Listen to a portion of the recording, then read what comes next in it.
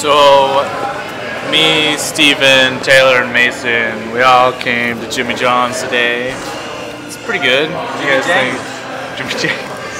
Jimmy Johnson. Uh, I got the, um, what was it called again? The Ultimate Porker. It's all full of ham. And you guys got the Club Luau. Good. Lulu. Lulu. Oh, that is spelled Lulu. Yeah, so it's good. And we're good. And that's all.